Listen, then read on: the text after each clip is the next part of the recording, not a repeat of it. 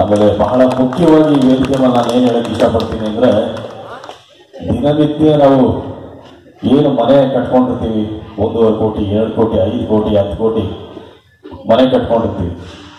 ಲಕ್ಷಾಂತರ ರೂಪಾಯಿ ಖರ್ಚು ಮಾಡಿ ಪಾರ್ಟಿಗಳು ಕೊಡ್ತಾ ಇರ್ತೀವಿ. ಆದರೆ ಒಂದು ಹತ್ತು ಸಾವಿರ ರೂಪಾಯಿ, ಹದಿನೈದು ಸಾವಿರ ರೂಪಾಯಿ ಕೊಟ್ಟು ಯಾರು C C T V glass ಕೊಡ್ತೀರ ಎಷ್ಟೋ ಒಂದೂವರೆ ಕೋಟಿ ಖರ್ಚು ಮಾಡಿ ಮನೆ ಕಟ್ಟಿರ್ತಾರೆ, ಇಪ್ಪತ್ತು ರೂಪಾಯಿ, ಮೂವತ್ತು ರೂಪಾಯಿ ಬೀಗ ಹಾಕಿರ್ತಾರೆ. ಇದರಿಂದ ಕಷ್ಟ ನಮಗಲ್ಲ. ನಿಜಕ್ಕೂ ಪೊಲೀಸ್ ಅವ್ರ ಕಷ್ಟ ಅವ್ರಿಗೂ ಹೆಂಡತಿ ಮಕ್ಳು ಇರ್ತಾರೆ, ಅವ್ರಿಗೂ ತಂದೆ ತಾಯಿ ಇರ್ತಾರೆ. ಅವರು ಕಳ್ಳನ್ನ ಹುಡ್ಕೊಂಡು ಹೋಗ್ಬೇಕು. ನಾವು ಮಾಡೋ ತಪ್ಪುಗಳಿಗೆ. ಎಷ್ಟು ಚೆನ್ನಾಗಿ ಬೀಗ ಹಾಕೊಂಡು ಹೋಗಿರ್ತೀವಿ ಅಂದ್ರೆ ಮನೆಗಳಿಗೆ ನಾನು ನೋಡ್ತಾ ಇರ್ತೀನಿ. ನಾವು ಮನೇಲಿಲ್ಲ ಅಂತ ಎಲ್ಲರಿಗೂ ಗೊತ್ತಾಗ್ಬೇಕು. ಆ ರೀತಿಯಲ್ಲಿ ಇಷ್ಟೇಷ್ಟು ಬೀಗ ಹಾಕ್ಬಿಟ್ಟು ಅದನ್ನ ಹೆಂಡತಿ ಮಕ್ಕಳು ಎಲ್ಲ ಕೂತ್ಕೊಂಡು ಫೇಸ್ಬುಕ್ ಅಲ್ಲಿ ಲೈವ್ ಮಾಡಿಕೊಂಡು ನಾವು ಗೋವಾದಲ್ಲಿದ್ದೀವಿ ನಾವು ಒಂದು ವಾರ ಆಟದಲ್ಲಿ ಬರ್ತೀವಿ. ನೋಡಿ. ಡೈಲಿ ಅವತ್ತು ಅವತ್ತು ಅಪ್ಡೇಟ್ ಮಾಡ್ತಾ ಇರ್ತಾರೆ. ನಾವಿದ್ರ ಗೋವಾ ಬೀಚ್ ಅಲ್ಲಿ ಇದೀವಿ.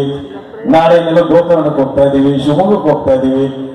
ಏನ್ ಮಾಡ್ತಾರೆ? ಕಳ್ಳರು ಆರಾಮಾಗಿ ಬಂದು ಮನೇಲಿ ಕುತ್ಕೊಂಡು ಫ್ರಿಜ್ ಅಲ್ಲಿ ಎಲ್ಲ ತಿನ್ಕೊಂಡು ಫೇಸ್ಬುಕ್ ನೋಡ್ಕೊಂಡು ಇವತ್ತು ಬರ್ತಾರೆ.